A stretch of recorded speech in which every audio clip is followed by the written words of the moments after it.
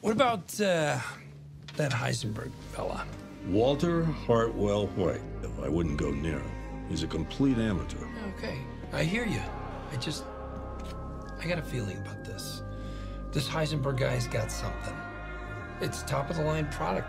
That's the buzz on the street, and I just think with the right You management. know, years ago I bought a Betamax. Good product, top of the line. Experts said it was better than a VHS.